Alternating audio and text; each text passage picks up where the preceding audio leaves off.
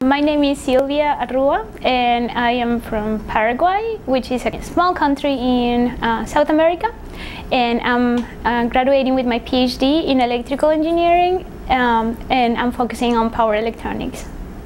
Uh, I got my bachelor's degree in um, back in Paraguay. In I graduated in 2012 in electromechanical engineering and I came to the US with a Fulbright scholarship in 2014. It's an American scholarship that uh, with the objective to uh, increase the exchange, uh, the cultural exchange between the US and different countries and work on my master's uh, degree until um, 2016. And then I got accepted into the PhD program and that's what I'm finishing up now. Specifically, I came to USC um, as a recommendation of my advisor who was helping me during the um, location uh, by choosing different universities and he recommended USC because the weather is um, much comparable with my country. My advisor is Dr. Enrico Santi. Uh, he is also a professor of several courses uh, for undergraduate students.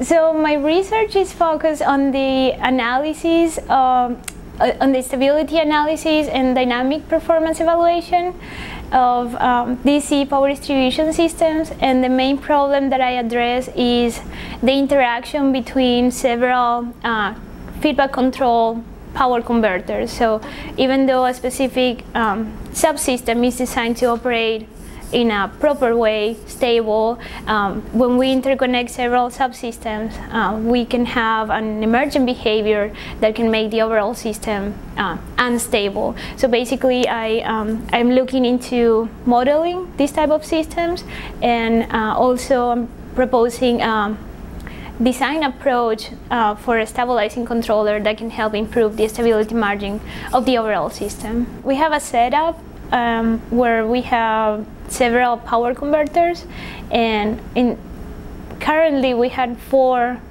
uh, operating together so we have like two sources and two loads and, that we interconnected together and um, what we do normally is um, we run the system, we get to a certain operating condition, and then we do some measurements and we do some tests. We can um, do either some um, impedance identification measurements where we characterize the system and we can also do like um, um, a perturbation test. So we change something in the system and we see how the system reacts.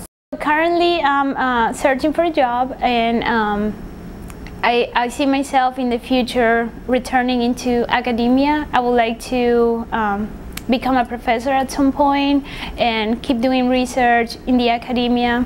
So I think that's my um, the path I want to follow uh, in the future.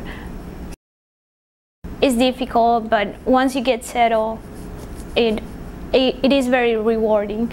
And also, I was um, I was working as TA for different classes, so that helped. Uh, improve my communication skills, especially in a different language, and I got to interact with um, other students that are, are, not in my group, and also I got more experience like on practical issues.